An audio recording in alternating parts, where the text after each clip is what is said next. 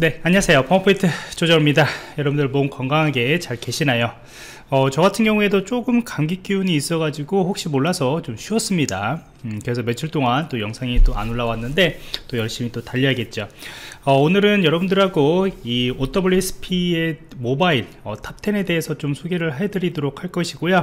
여러분들이 안드로이드 취약점 분석을 할 때 좀 참고하면 좋은 그런 자료들을 몇 개 이렇게 간단하게 어, 소개를 하려고 합니다 우선은 이제 OWASP라고 하는 것은 여러분들 아마 웹해킹하고 좀 많이 어, 연관을 해서 생각을 하시게 될 겁니다. 우리가 OWASP Top10 하면은 보통 이제 학생들한테도 물어봐도 이제 웹해킹 Top10 이렇게만 이야기를 하게 되는 것인데 사실 OWASP Top10에서는 이 OWASP라고 하는 곳에서는 어, 여러 공개 도구들을 많이 만들고 있어요. 그러니까 취약점 진단 분석에 활용할 수 있는 여러 오픈 프로젝트를 진행을 하고 있고요. 그 다음에 이제 어, 웹해킹 뿐만 아니고 모바일과 관련된 OWASP Top10 뭐 IoT하고 관련된 것들 뭐 secure 코딩과 관련된 이런 여러 가지들을 계속적으로 연구를 하고 있습니다. 그래서 지금도 여러 가이드하고 뭐 체크리스트들을 이제 배포를 하고 있고요. 한국에서도 이제 서울지사가 있어요 그래서 여러 세미나들 그런 것들을 주최 그 어, 주최를 하고 있는데 코로나 때문에 좀 활동이 좀 더딘 것은 어, 사실입니다. 하지만은 열심히 활동을 하고 있어요. 자 그러면 OWASP Top10에 대해서 좀 이야기를 하도록 할 것인데 여러분들이 OWASP에 대한 웹해킹 Top10은 많이 보셨을 거예요. 근데 이제 모바일 쪽으로 갔을 때 우리가 어, 실무에서 실제 취약점 진단을 할 때 이 OWASP Top10이라는 것을 또 많이 봅니다. 모바일 Top10인 것이죠. 그래서 웹 서비스하고 이제 어, 비슷하게 서버 같은 경우에는 이제 웹 서비스하고 동일한 곳을 바라보기 때문에 사실 웹 서비스를 취약점 진단할 때는 OWASP에 대한 웹해킹과 관련된 그런 Top10들을 사용을 합니다 그래서 이것도 하나의 이제 플러스가 된다라고 생각하시면 되고요. 자, 그래서 모바일 서비스도 OWS 탑10이 이제 기준이 존재하게 되는 것인데 이렇게 M1부터 M10까지 있어요. 이렇게 우리가 있고요. 어, 애플리케이션 같은 경우는 A1부터 이제 A10까지 이렇게 지정을 하고 있죠. 그래서 여러 가지 그런 이 10가지 안에가 이제 어, 큰 그룹이고요. 이 안에는 상세한 내용들이 있겠죠. 음, 그래서 이것들을 취약점이 여러분들이 기준을 알 필요가 있습니다. 그래서 간단하게 소개를 드리면은 이 M1에 대한 부적절한 플랫폼 사용 같은 경우에는 우리가 이제 rooting과 관련된 부분들이에요. 그러니까 우리가 어, 예전에 이제 rooting은 여러분들 지금은 많이 하지는 않을 겁니다. 근데 어, 이전에 rooting을 한 이유는 여러 가지 이제 테마 같은 경우나 아니면 무료 앱들 그 다음에 이제 어, 이제 무료 앱들이라고 하는 것들은 이제 유료로 구매를 해야 하는 것인데 무료로 이렇게 APK 파일을 다운로드 받아가지고 이제 설치를 해도 사용하고 싶거나 이제 오락 게임 같은 경우죠. 게임 같은 것들을 할 건데 그때 이제 rooting을 많이 했었어요. 근데 이제 rooting을 하게 되면은 이제 앱 취약점 진단할 때는 이 앱에서는 이 rooting을 했기 때문에 위험하다. 이게 이 rooting을 해가지고 뭔가 위험한 그런 진 그 버그 같은 거나 그런 것도 찾아낼 수 있고 악용을 할 수 있기 때문에 이 rooting에 대해서 체크를 하게 되는 거예요. 그래서 rooting 체크라고 보시면 되고요 그 다음에 모바일 쪽에서는 사실 이게 제일 좀 중요하다고 저는 생각을 하고 있거든요. 그래서 안전하지 않은 데이터 저장이라고 하는 것들은 이제 폰에 여러분들이 사용을 하다 보면은 많은 데이터들이 저장을 할 수밖에 없습니다. 그리고 앱이라는 것 자체가 이제 여러분들이 제 로그인을 많이 하진 않죠. 그래서 로그인을 한번 하게 되면은 그 로그인 정보들이 앱에 남게 돼요. 근데 그 앱에 어떤 식으로 남게 되냐 이게 안 남길 수는 없어요 안 남길 수는 없기 때문에 안전하게 남겨야 하는 것이다. 그래서 이런 안전하게 어떻게 데이터들을 저장을 하고 있는가? 그 다음에 외부 데이터 저장소 우리가 보통 이제 SD 카드라고 얘기를 하잖아요. 거기에도 일부 데이터들이 남게 되는 건데 거기에도 이제 중요한 정보들이 남기면 안 되겠죠. 외부 데이터 정보 같은 경우에는 누구나 이제 접근할 수 있는 거기 때문에요. 그래서 이런 데이터 저장과 관련된 부분들을 많이 보게 됩니다 저는 제일 많이 나오는 부분들이고 웹에서 그 앱 취약점 진단할 때요. 그리고 제일 중요한 부분이라고 저는 생각을 합니다. 그리고 이제 안전하지 않은 통신 같은 경우는 이제 중요한 정보들을 할 때 네트워크 상의 뭐 아이디하고 패스워드 정보들이 이제 암호화 통신이 되지 않으면은 위험하겠죠. 우리 해킹이 당할 위험성이 있겠죠.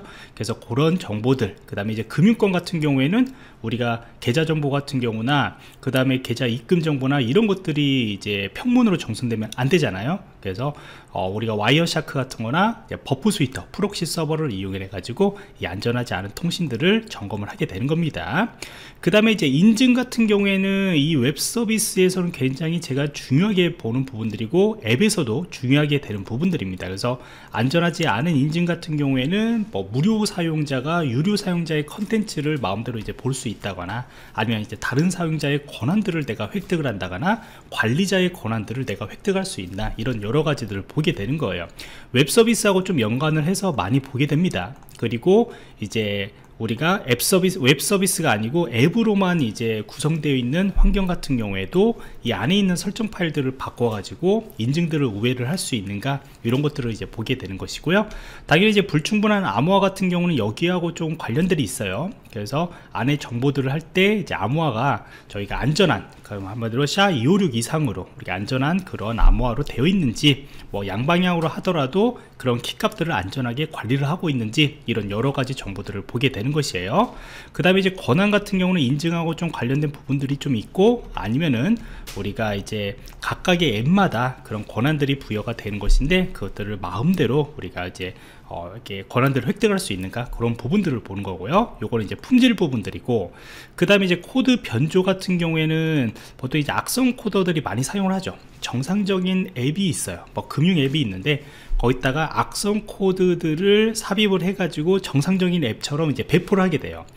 실제 플레이스토어나 그런 데에서 악성 코드들이 많이 배포가 돼요. 생각보다 많이 배포가 됩니다. 매년마다 이게 보고가 나오거든요 구글에서. 그래서 몇 개 정도가 이렇게 배포가 되고 있다. 그리고 어, 사용자들이 얼마나 다운로드를 받았다. 뭐 이런 것들도 있고요. 그래서 우리는 이제 악성 코드들이 악성 코드들이 감염되지 않기 위해서 어, 이렇게 어, 출처가 불명확한 곳에서는 이게 뭐 카페나 이제 뭐 메일이나 그런 데서 APK 파일들을 주면은 다운로드 받아가 설치하면 안 되겠죠.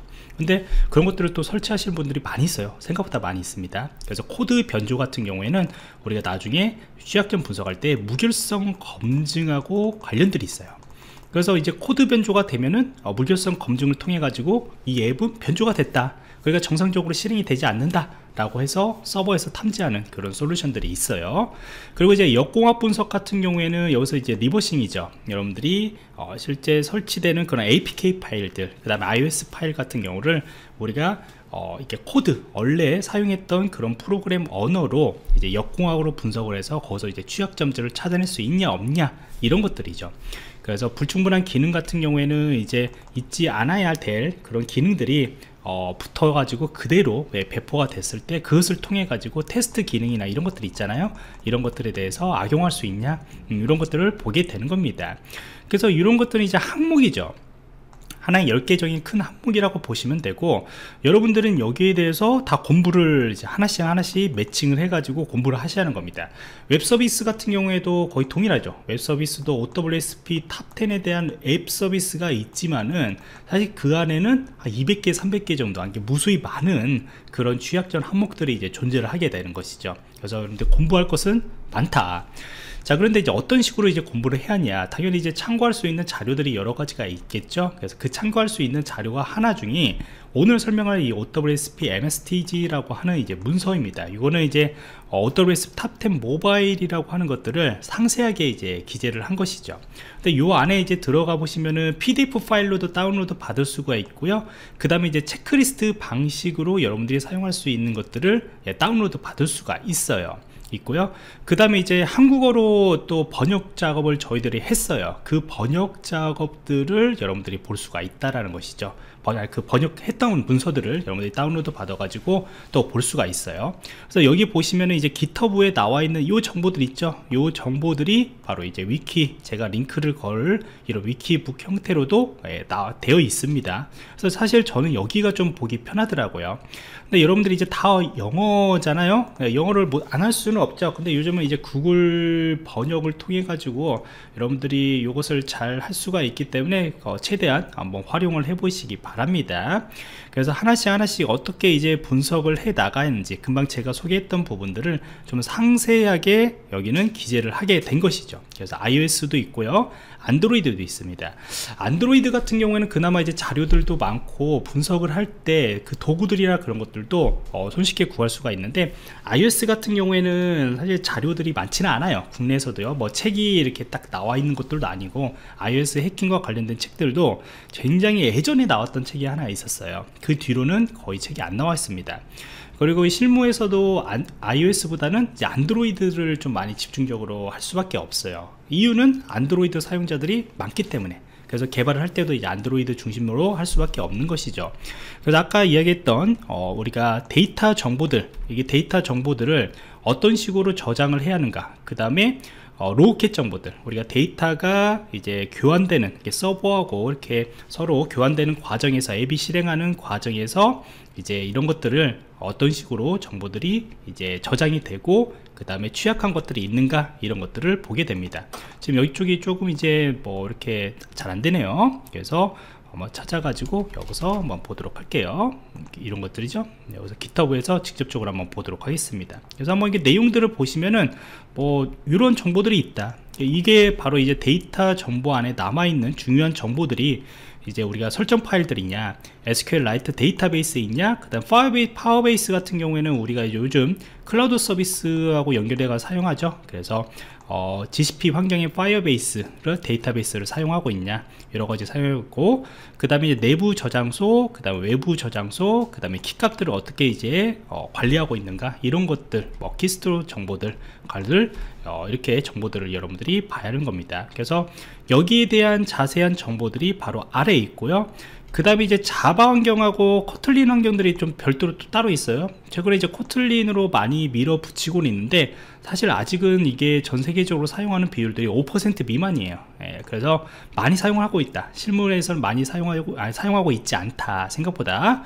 그래서 여러분들은 자바 환경으로 많이 공부를 해 두시면은 나중에 코틀린으로 넘어올 때도 어, 조금 도구나 아니면 분석 방법이 조금 다르긴 다른데 여러분들이 분석을 하는 데는 큰 어려움은 없을 것이라고 생각을 합니다. 사실 요 문서들 문서들만 여러분들이 잘 보시더라도 실습 환경을 여러분들이 구현을 할 수 있으면은 요 문서 가지고 여러분 테스트를 할 수가 있어요. 충분히 이 문서 가지고 공부를 할 수 있다라는 것이죠. 근데 이거 가지고 좀 어려움이 있다 라고 한다면 책을 참고해야 하는 것인데 책 같은 경우에도 안드로이드 모바일 취약점 진단 책들이 많지가 않아요. 국내에서 두 개인가 세 개 정도 세 개 정도밖에 안 나왔고 그나마 제, 저희가 저술했던 책이 하나가 있어요. 근데 사실 요거를 뭐 구매하라 라는 것들이 아니고 아, 시간이 꽤 올렸죠. 업데이트가 안 됐어요. 업데이트가 된 정보들 같은 경우에는 제가 블로그나 유튜브를 통해 가지고 업데이트를 하고 있어요. 그래서 그나마 이제 한국 책에서는 저는 이제 요거를 추천을 하죠 음, 제가 쓴 책이기 때문에 이제 실습 환경이나 그런 데를 구성해 가지고 어떻게 실습을 하는가 다 나왔기 때문에 사실 요 환경들을 여러분들이 어, 책을 같이 보시면은 예, 좋다라고 하는 것이고요. 그래서 요 문서만 보셔도 여러분들이 충분히 따라갈 수는 있다. 그러면 이제 환경 같은 경우는 어떤 걸로 이제 구성하면 좋으냐? 이 책에서 나온 것이 바로 인시큐어 뱅크라고 하는 책입니다. 아, 인시큐어 뱅크라고 하는 환경이에요. 이걸 되게 많이 사용하고 있고 어, 외국에서도 이런 환경으로 어, 이렇게 교육들을 많이 하고 있어요. 그러면 인시큐어 뱅크 같은 경우에는 왜 사용하냐 하는 것들을 이제 알아야겠죠 자 우리가 이게 이거는 OWS 탑10의 모바일 10가지 항목입니다 여기에 매칭되는 것이 뒤에 인시큐어 뱅크에 있는 요 항목들이에요 그러니까 지금 현재 인시큐어 뱅크에서 테스트할 수 있는 항목이 한 25가지 정도거든요. 그 때문에 넉넉해요. 그래서 요거의 정보들만 여러분들이 분석할 수 있으면은 어, 실무에서 M 모바일 취약점 진단들을 여러분들이 분석할 때 부족함이 없어요. 어, 얼마나 이제 많이 분석해 보냐 그 다음에 이제 안드로이드 악성 코드 같은 경우에도 몇 개 이제 샘플로 한번 분석을 해보냐 이런 차이인 것이지 사실 이 항목들만 여러분들이 공부를 했다라고 한다면은 실무에는 큰 어려움이 없을 겁니다 물론 이제 점점 점점 보안 솔루션이나 그런 것들이 강화가 되기 때문에 조금 어 이게 책에서 본 것처럼 막 계속 나오진 않을 거예요. 취약점이 뭐 이렇게 우수수 나오지는 않을 것인데 어 기술은 충분히 여러분들이 다룰 수가 있어요. 그래서 인시큐어 뱅크 2라고 버전 2라고 하는 것들을 저는 어, 강력하게 이제 추천을 하게 되는 것이고요. 그 다음에 이제 최근에 업데이트가 또 된 것이 있는데 바로 인시큐어 샵이라고 하는 앱입니다. 저도 요거를 좀 보고 있어요 나중에 이게 정리가 되면은 뭐 유튜브를 통해서 일부는 좀 공개를 하겠지만은 여기에서도 어, 한 19개 정도. 그러니까 요것을 보고 난 뒤에 요것을 좀 보시면은 여러분들이 풀어 볼 수가 있고요.